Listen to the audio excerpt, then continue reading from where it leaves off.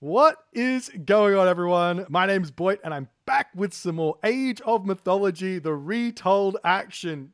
It's not the, is it? It's just retold. I'm never going to get used to it. All right. Isis here for Tunison in the blue color at the bottom of the map. In the red color, playing as Hades. He's calling himself Giovanni Dotti, but he is better known as Skady. Skady the Great, Skady the Wise, Skady the Powerful here on the map Anatolia. Uh, I love this map. This is going to be my first look at water here. Oh, very, very excited to see how things are going to be shaping up for uh, for these players. As we do see both player both players look like nope. We see uh, Tunison going to the bottom side of the map here. He's going to be getting himself fishing ships down the bottom, and uh, Giovanni Dotti Skady is going to the top side of the map here to get himself uh, his his fishing ships up the top. Uh, we do see some relics here. I haven't seen this one. Ulas. Oh no, this is a rename plus two range. Can't remember what the relic is called, but it is a rename there. Uh, it's a good relic. Definitely worth picking up. All right. So, the big question is how do you approach this map from both sides of the coin? So, the, the Greek players will be used to playing water, right? With getting themselves no gold in the archaic age. But now, Greek needs to get themselves 100 gold to get themselves a temple. So that timing of when to put villagers onto gold to mine yourself 100 gold is going to be really, really important because you also want to be getting yourself out as many fishing ship as you possibly can. Um, I think just from a mathematical standpoint, you either need to get villagers onto gold, uh, one villager onto gold by one minute into the game. That'll net you about a five minute advance time if you go one minute into the game, or get two villagers onto gold at two minutes into the game. So that'll that'll net you the the um, the same amount of hundred gold by the time you, you need to get the, the temple up and everything. Uh, the reason I know this is because one villager on gold uh, in Age of Titans gets you the gold you need for a temple for a 416 advance time. So or even a four minute advance time if you put it onto the gold mine at the start. So you're using some of that some of that knowledge there uh, to, to figure things out. As we do see a, uh, a cheeky little dot coming up here. Oh, he goes for the walls. He can't get him.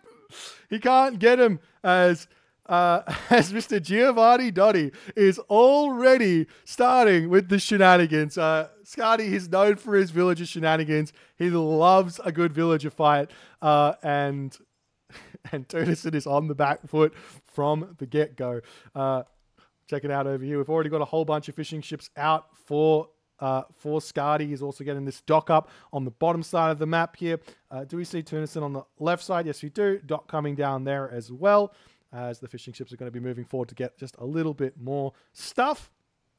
Now, the one thing that I do know about the water on um, on Retold is that we get access to the Archer ship, we get access to the Ram ship, and we get access to the siege ship all in the classical age. So that's a really, really big change to how the water works. And I assume this is going to make it much more interesting to play on uh, as we see. Yeah, this is this is what I'm talking about. You need to get that gold in to get the um, to get the temple out, and you just like he just doesn't know how, when to put it onto the gold to get the amount out for the temple, and it's just going to be a really late advance here for uh, for Skady on this one. As you see the villagers, they're shanking, they're shanking. It looks like I think Tunison is winning this one, uh, but I think they well, does he really catch up?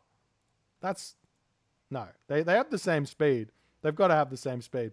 All right, so Tunison gets uh, gets Mr. Skady back on that one, and there's also this priest that can come over, and the priest has got the ability to heal, so you can actually move over there and heal the, the villager up while that fight is going on for some serious advantage there. Uh, I would assume, as uh, Tunison is trying to get some houses down, he's got plenty of population there, uh, but it is what it is. And do we see that advance time coming through here for either player. Jeepers, this is a very, very late advance. This is not something we're used to seeing at all uh, on Anatolia. Some very, very uh, exciting um, times ahead with uh, with build order creation and just like nobody really knowing what's good, what's bad, and just everybody just trying a whole bunch of random stuff out. Um, alrighty, so we'll see how things are gonna go. Doc's coming up over here for for Skady as well as he has managed to push that villager off of this position. Uh, I wonder if you can send this fishing ship no, I don't think you can re. I don't think you can build docks with fishing ships anymore here with um the with the Egyptian fishing ships. You could build them on the Titans, but on Retold, there is no ability to build docks here. So you have to use your villages. There's not going to be any opportunity for sneaky docks to come up at all. So we'll see how much that influences things here. And we do see Athena coming through. Bast has come through here for Tunison. This is going to be the first little look at Bast to come through. He gets access to this cheeky little Sphinx over here. And that's going to be an interesting one as this villager does manage to get the dock up. But the laborer will get chased down and will get picked off there. Um, and we'll see how things end up shaping up with uh, all of those boats about to come through. That Athena is going to come through as well. We see the triremes started up there for Skady, and we've already got war barges out here countering the uh, archer ships of Tunis and Tunison going for what looks to be Kebenit's war barges to start this one off. Whereas we see the uh, the the Skady ships, he is going for a couple of those triremes, and I imagine he's going to be getting himself some Pentekonters as well to try and deal with these uh, these war barges. The dock too strong there, and uh, Tunison will have to retreat back. Meanwhile, on the bottom side of the map, we do see ramming galleys coming through, as well as the Tunison Kebenits as well as.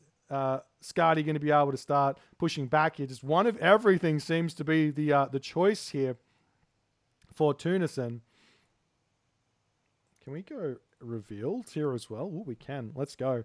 As the uh, the units pushing forward, we will see the, uh, the the ramming galleys. Okay, so here's the way the counter triangle works here.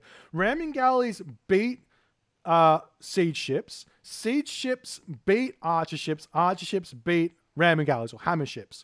So you have to you have to micro that that's going to be the big thing. It's not going to be a pullback micro, though that will be a thing as well as the Minotaur comes in, sacrifices itself to kill off that Sphinx there. And it's also going to move over here and get a little bit of damage onto the villagers here. Tunis is not paying attention in his main base, but the Minotaur will fall to some arrow fire there as the pressure still mounting onto this position as well as it looks to me like Tunison, he is about to win on this position here as well, taking out the first dock here of uh, of Skady, of Giovanni Dotti, as the ramming galley is going to push through brutally here. And Skady is now on the back foot in a big way. His only real good recourse now is to either all in on the top side of the water, sack the bottom, or throw down a whole bunch of town centers and get some aggression onto the uh, onto the land here to get some um, villager kills and try and equalize on on income moving forward. But we'll see if he can manage to do that or not. Is he still building stuff out over here? Looks like he's cut everything onto this bottom side. The fishing ships are going to be getting taken out here, and the units here from uh, Skady now pushing forward. Will Tunison go for he's going for the heroic age. He's getting that Nephthys out. He's pushing up onto this top side of the map here, but he is getting pushed back in a big way. A lot of those siege ships are out here for uh, for Skady at the moment, but he's still got to deal with the ramming galleys and everything else that's coming through here. If uh, if Tunison can get out enough of these ramming galleys, he will be able to clean up this army of Skady very, very quickly as we do see the restoration coming down. It looks like every single one of those boats that to, um, that Skady had here do go back up to full HP. As the uh, ramming galleys pushing through, going to get taken out. There's the heroic age coming in. Will we see that stock standard ancestor clips on the economy? There's already a second town center coming up here for Tunison to boot here as well.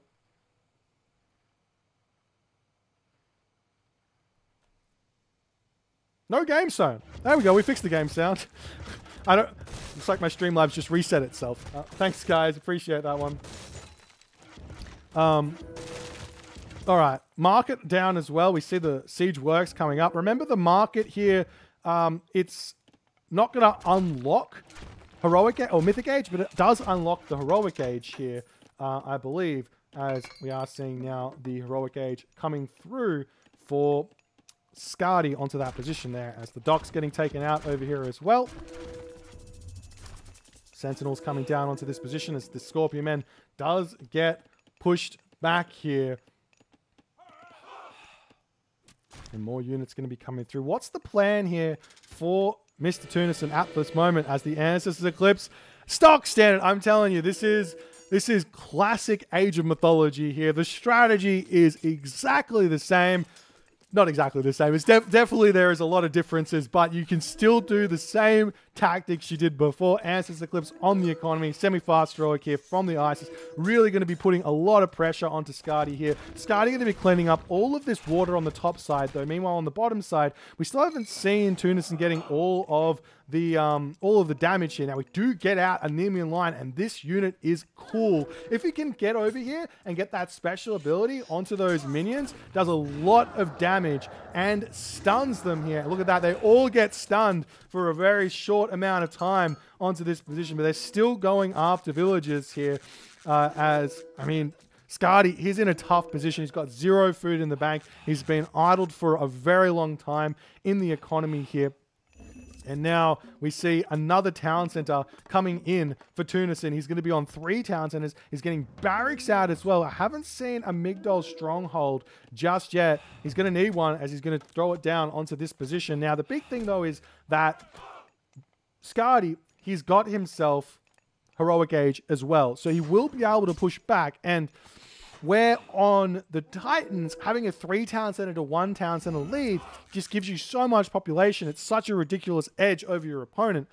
In Retold, you just get so much population from houses that that lead doesn't really start coming into it until much later on. So if you just sneak these town centers up, you've still got to get a whole bunch of units out to actually take advantage of the extra population you're getting. So it's not a, a, an automatic win to just grab town centers in the center of the map anymore. Skady will be able to push back here, most likely. As we do see Skady getting himself some fishing uh, fishing ships out. Now, you do also get out of the dock, if I take a quick look here, um, it's not going to show me what I can build in terms of upgrades there, but I'm pretty sure you can get yourself your fishing upgrades in the heroic age now. It's one of the big differences is that a lot of the classical age upgrades were moved to the heroic age. That includes your uh, shaft mine, your bow saw, um, and, and the fishing upgrades as well. So we do see the uh, Hippeus coming through, trying to put some pressure on to this location. Curse gets dropped down, taking everything out here. Definitely want to be targeting down that Pharaoh over here. Do we see some Spearmen coming out? Yes, we do, in an attempt to get over here and uh, and defend. Big question here from Peking Panda. Do AOM original build orders work the same for Retold? Not really. You can take the same concepts, like, but there's no hunting dog, so the exact build order doesn't really work anymore. But you can kind of, you have to use a brain a little bit to adapt it, but it's not that different. It's very, very similar in terms of what you can get away with, um, I think, at the very least. All right, Tunison now, he's still pumping out all those villages from all those town centers. He's losing everything. You do see that, oh, here's another change coming through. Look at this. This is not Dionysus. This is uh, this is Aphrodite, and you get the Scylla nonetheless. Absolutely huge. So, Heroic Age from any Heroic Age god means free water myth unit. Big, big deal there for um for strats and everything else. As we do see a Monument to the Priest coming up on this location here from Tunison in an attempt to defend himself from any sort of Mythic Age timings that might come through from Skady. Skady's now on two town centers himself, trying to just raid villages as best as he can. He does have the score lead, even though he was taken out in a big way early on the bottom side of the uh, of the water. We do see a cheeky little dot coming through from Skady as he's trying to push out here as well as a fortress in the center of the map. This is generally when players lose on Anatolia. It's in the center of the map. It's on the second gold mine. But with uh, Skady getting up a fortress here, this is going to be really, really challenging for Tunison to, to beat. We are seeing war elephants coming through. There is access to siege towers as well, so that's going to be a big help. in trying to kill this off as uh, we see now the fortress is up. And look at the damage it does. 17 damage. Wait, how much damage a second is it? 17 damage a shot. 51 pierce damage a second. That is gigantic. And here's the other thing. It appears as though, and I could be wrong about this, it appears as though oh, my lag. No, oh no, it's crashing. Oh, it, you can do it. You can do it. Come on, come on, PC. Come on, laptop. Get through it. You've done it before. oh no, wait, wait, we're crashing. We're so crashed. oh. Well, it's been fun, guys. oh, we're back. Yes. We didn't crash. Let's go. Let's go. I've got no idea what that was. but the uh, the fortress is still staying alive here, but the siege tower is cleaning this one up, and this looks like now Skady has been pushed off of the middle, and now he's got only this gold mine left. He's really struggling for army uh, military value at the moment as the ISIS of Tunison is sitting up at double the uh, economic, uh, double the economy here. As we see some archery rangers coming down in a desperate attempt to get some Toxotes out here. And the siege tower is going to break through these stables. And we do see Skady in that moment deciding the game is lost. Tunison too far in front on this one. ISIS still reigns supreme on Anatolia, but let me just say this was not the most efficient of Anatolia games if I've ever seen one. Where was the where's the timeline? Where's the technology? Look at this classical age from both players. Six minutes here, six minutes and 30 seconds. I with you starting an extra villager, I expect the 515 advance to just go to five minutes. Um, I don't see any other difference here on this map. Uh, you, are going to definitely be able to get that advance time. And once you clean that up, I feel like some of these like gaping advantages that come through from um, ISIS might become less uh, less obvious or, or, less strong because now you're competing on a, on a kind of uh, a more level playing field as the game is kind of designed. Anyways, if you guys enjoyed this game, please consider the follow on the Twitch. If you're on the YouTube, hit that subscribe button, and I'll see you guys in the next game.